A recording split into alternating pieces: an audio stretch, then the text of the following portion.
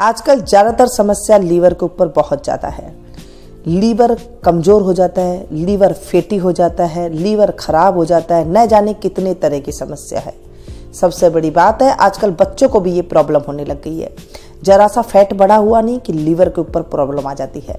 जरा सा आपने चटपटा खा लिया, जैसे मैं रेसिपी में आपको बताती हूँ कि तीखा चटपटा जो है, खाने से लीवर के ऊपर बहुत ज़्यादा इफ़ेक्ट करता है। अगर ऐसा आपको लगता है कि बार बार डकार आ रही है या फिर पेट फूल जाता है या फिर कुछ भी प्रॉब्लम है, उसके लिए ऐसी सटीक जानकारी लेकर के आई जो आपको एक बार में ही आपको बिल्कुल रिज़ल्ट देगा। आप सभी को पता है, जो मैं आपको रेसिपी बताती हूँ या फिर कोई मैं आपको जो भी उपाय बताती हूँ, ये जो चीज़ें मैं बताती हूँ आपको, घरेलू जो नुस्खे होते हैं, ये बहुत ज़्यादा फ़ायदेमंद होते हैं। कोई देखी दिखाई, सुनी सुनाई, मैं आपके साथ बातों के साथ शेयर नहीं करती हूँ। नमस्ते दोस्तों, कैसे हैं आप सब? आप आई मीनू गुप्ता किचन में और मीनू गुप्ता किचन में आप सभी का खूब खूब स्वागत है। जैसे मैंने कहा कि आज मैं लीवर के ऊपर बात कर रही हूँ। लीवर हमारा बहुत ही ज़्यादा नाजुक होता है। कैसे जैसे रुई होती है ना, इतना ज़्यादा नाजुक होता है। ये नाजुक जब आप चटपटा खाते हैं, आपकी ढाई इंच की जीप को तो बहुत वो टेस्टी लगता है, लेकिन अंदर जा के बहुत ज़्यादा ये दिक्कत पैदा करता है। इसका उपाय है धनिया। आप सभी को पता है, धनिया खूब भरपूर मात्रा में आता है। आजकल तो गर्मी, सर्दी आप एनी टाइम ले सकते हैं। और धनिया के जो मैं फ़ायदे बताऊँ तो अनगिनत है और जो धनिया हमारे पेट को जो सुरक्षित रखता है ना, उसके तो क्या कहने? देखा है आपने, हमारे घर में जब सब्ज़ियाँ बनती है, ज़्यादातर हर सब्ज़ी में धनिया काट करके डालते हैं और धनिया जो है चटनी के रूप में बनाई जाती है और सर्दी के मौसम में तो धनिया की ज़्यादा ही बनाई जाती है। गर्मी और सर्दी आजकल हमेशा चलती है, लेकिन सर्दी के मौसम में क्यों ज़्यादा बनाई जाती है, आप सभी को पता है? देखिए, कुदरत ने हमें सर्दी के मौसम में ज़्यादा धनिया इसलिए दे दिया है कि हम उसका जो है चटनी के रूप में प्रयोग कर सके और ये हमारे जो लीवर है, उसको ये जा के अच्छा एकदम मज़बूत बना सके। जितनी भी प्रॉब्लम होती है लीवर की, उसका सभी का एक ही उपाय है, वो है धनिया। हाँ जी, हरा धनिया की ये जो पत्तियाँ है ना, बहुत कारगर होती है। इसे कैसे लेना होता है, किस टाइम पे लेना होता है, कितनी मात्रा में लेना होता है और कैसे कैसे खाना चाहिए, ये सारी बातें आज मैं आपके साथ शेयर करूँगी। कोई भी मैं आपके साथ वीडियो शेयर करती हूँ, उसकी बिल्कुल डिटेल तक आपको मैं बातें बताती हूँ। एक एक बातें आपके साथ शेयर करती हूँ ताकि एक भी बात आपसे छूट ना जाए। जो आजकल फास्ट फ़ूड चल रहे हैं या फिर जो आप लोग घर में खाना खाते हैं उसमें आपने देखा होगा, ज़्यादा स्पाइसी आजकल बच्चे पसंद कर रही हैं। इन धनिया की पत्ती को मैंने थोड़ा सा तोड़ लिया। डंठल सहित मैंने इसे तोड़ा है और तोड़ करके जो थोड़ा बहुत ख़राब हिस्सा है, उसे आप निकाल दें। इसे पानी में, अच्छे से एक गिलास पानी मैंने ले लिया। इसे अच्छे से हम इसे धो लेंगे और इसमें जो मिट्टी वगैरह है या फिर कोई कोई ख़राब पत्ती है या फिर कुछ और जो होता है, वो पानी के रूप में दिखाई दे देता है हमें। पानी में, ये देखिए, जैसे ये थोड़ा सा कालापन है इसमें पत्ता तो इसे हम हटा देंगे और इसके बाद जो इसे हम धो करके फिर हम इसे यूज़ में लेंगे। आप इसे तलने के ऊपर भी रख सकते हैं या सीधा पानी के ऊपर भी से आप छोड़ सकते हैं। दो तीन पानी से आप इसे अच्छे से धो लें ताकि इसमें से मिट्टी अच्छे से निकल जाए। ध्यान रखिएगा, डंठल इसमें रहना बहुत ज़रूरी है। जब आप इसे तोड़ रहे हैं, एक हम फ्राई पैन लेंगे, कोई भी मोटे तले का बर्तन ले लें और उसमें हम डालेंगे एक गिलास करीब पानी। एक कप के करीब भी आप इसमें पानी ले सकते हैं, कम ज़्यादा हो जाए कोई दिक्कत नहीं है। पानी जब गर्म हो जाए, जैसे उसमें उबाल आने लगे, तब इसमें हम डालेंगे ये पत्तियाँ।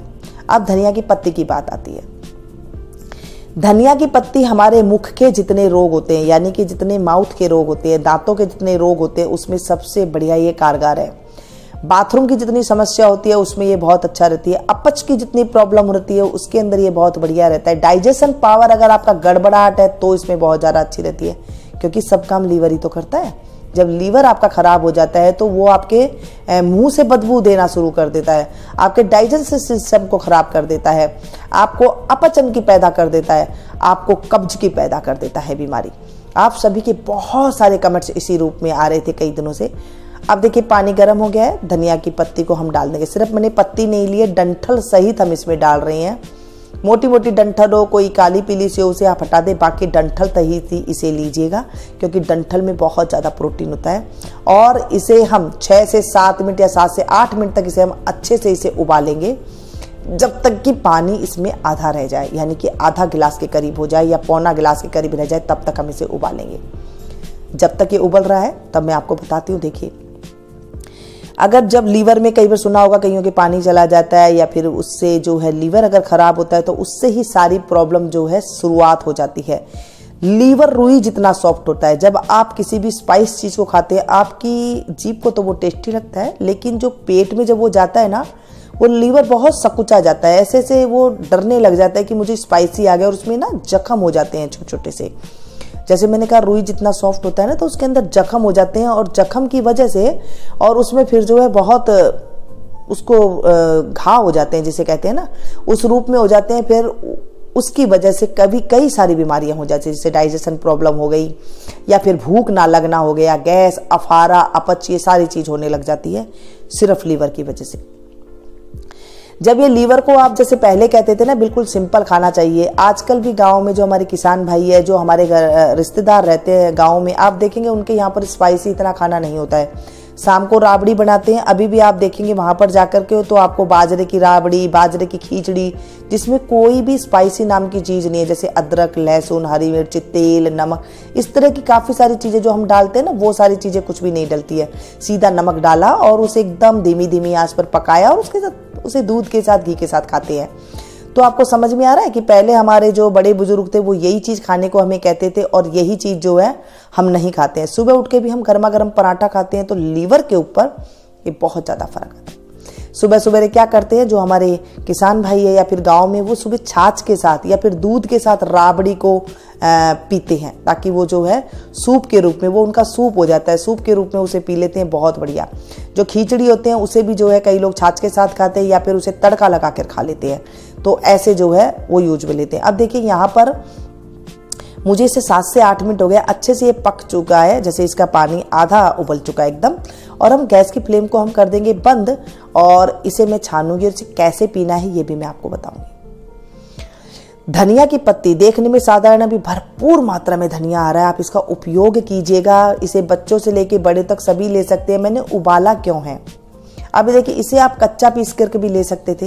लेकिन आजकल कितना केमिकल है ना, इसलिए थोड़ा सा उबाल करके लेना बहुत ज़रूरी है। कईयों को कच्चे का फ्लेवर भी अच्छा नहीं लगता है। अब इसे हम चन्ने के साथ छान देंगे।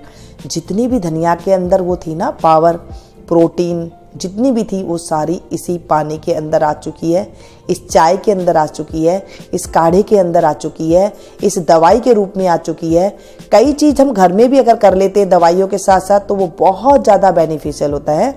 इसे खाली पेट भी आप ले सकते हैं। मैं ज़्यादातर आपको मना करती हूँ ना, इसे आप खाली पेट ले सकते हैं। नाश्ता करने से आधे घंटा पहले ले सकते हैं, नाश्ता करने के बाद इसे ले सकते हैं, लेकिन ध्यान रखिएगा सिप सिप करके पीजिएगा।